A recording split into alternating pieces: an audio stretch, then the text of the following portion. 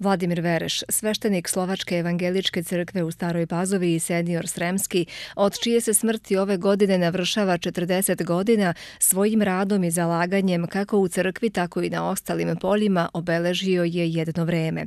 Ostavio je iza sebe bogatu arhivu dokumenta i fotografija koje su izložene u parohijskom domu Slovačke evangeličke crkve u Staroj Pazovi. Izložbu je pripremila Katarina Vereš koja se bavi arhiviranjem bogate dokumentacije u ovoj crkvi.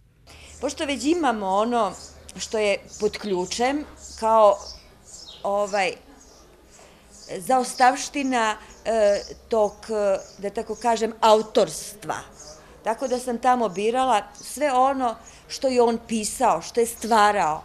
Bilo da li je to već štampano ili je bilo pisano, odnosno pripremljeno za štampu.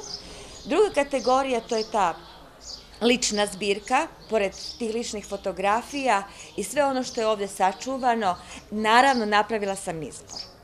O Vladimiru Verešu, koji je bio sin prvog biskupa Slovačke evangeličke crkve Adama Vereša i čije je delovanje obeleženo vrednim radom u nepovoljnim uslovima, govorio je sveštenik Igor Feldi. Na ovoj izložbi e, su najviše fotografije iz e, doba njegovog života, takođe mnoga, e, mnoge druge, mnoga druga dokumenta, na primer razna korespondencija i razne zapisnice iz tog perioda.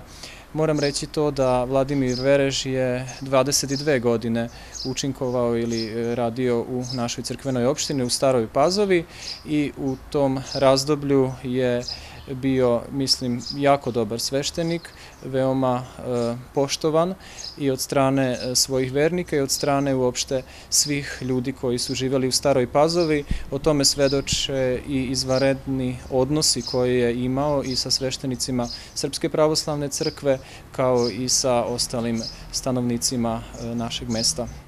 Na otvaranju izložbe, pored brojnih pazovčana i gostiju, bio je i sin Vladimira Vereša, Dobroslav sa suprugom, predstavnici svih institucija kao i gosti iz Slovačke republike, sveštenik Ondrej Pećkovski sa suprugom i Jasmina Nasarik, direktorka predškolske ustanove u Miloslavovu, koja je ovom prilikom donela na poklon oko 200 knjiga.